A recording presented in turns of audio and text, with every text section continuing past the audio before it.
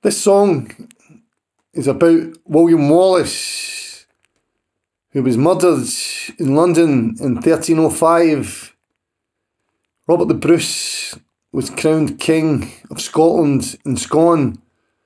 I like to think the night before he went, he was sitting in Cambuskenneth Abbey, a big church. Now, it's rumoured that William Wallace's uncle was a monk in Cambuskenneth and he collected the bones of William Wallace. So they did a ceremony inside Cambuskenneth Abbey. Robert the Bruce is singing this, this song. This song is Robert the Bruce singing this, the ode to William Wallace in the Isles with the Black Douglas and Edward Bruce, who fought at Bannockburn. So the song is called Son of Our Alba, and try and remember. It's being sung by Robert the Bruce, King of Scotland, Son of Our Alba. Didn't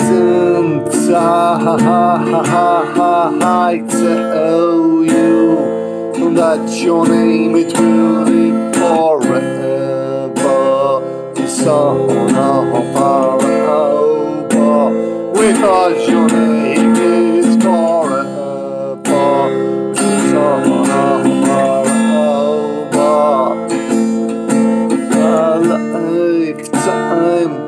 passes by so quickly. Yours the inspiration, of our Alba. Yours the inspiration, our Alba. Even when you are near death. You never help down. You never bow before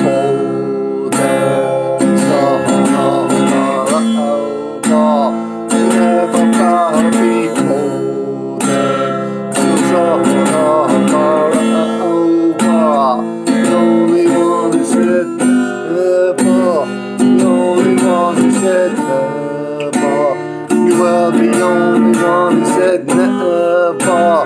Only one who said never.